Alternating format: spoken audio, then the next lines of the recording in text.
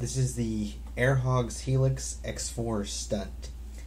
It's about 65 to $75 depending on where you purchase it from. And it's a pretty small aircraft. You can see it almost fits in my hand.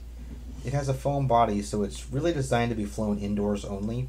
If you take it outdoors, it's very hard to control because the wind will pick it up and carry it away.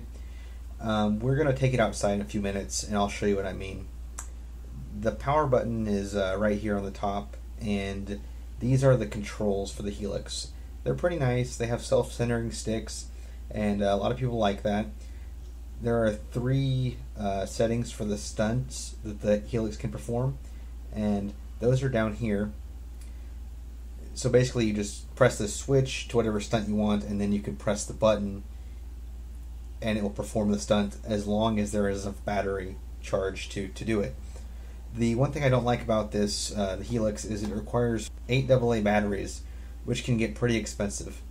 Some of the other drones I have require maybe like 3 AAAs, but this one is really battery heavy. The 8 AA's can actually be used to recharge the drone on the go. You can turn this dial and pull the charging cable out and just plug your drone in there to recharge it.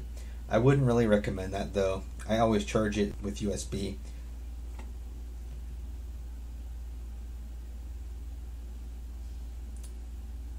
to turn the drone on, you press this button and the lights will start flashing because it's looking for your controls.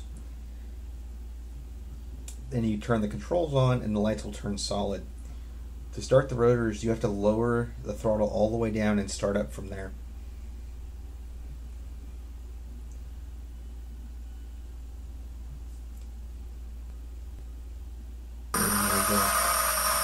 This is actually one of the the louder drones I have as well. And we're going to take it outside and see how it flies.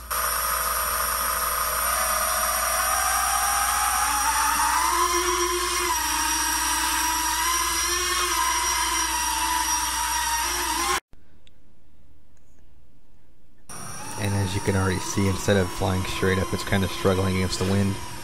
There's a pretty decent breeze blowing at my back. It's carrying the drone um, away from me. I'm going to try to keep it out of these trees, but uh, eventually it's going to just keep going in that direction. I'm trying to bring it back towards me now, but it's just, it's not, it's not wanting to come back. And eventually it's just going to lose uh, radio signal as soon as it gets far enough out.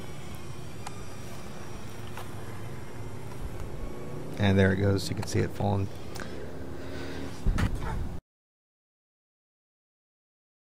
So would I recommend the Airhogs Helix X4 stunt? Uh, despite that crash, um, I still think I would as long as you're not predominantly flying it outdoors. For indoors, I think it's a great little drone. It's got the rotor guards on it, so you're not going to hurt anybody. You're not going to hurt any of your furniture your walls, and you're not really going to hurt the drone itself. It's pretty sturdily built, and um, so I think still think it's a buy for the price. And if you like this video, please like and subscribe to our channel so you can see more. Thanks.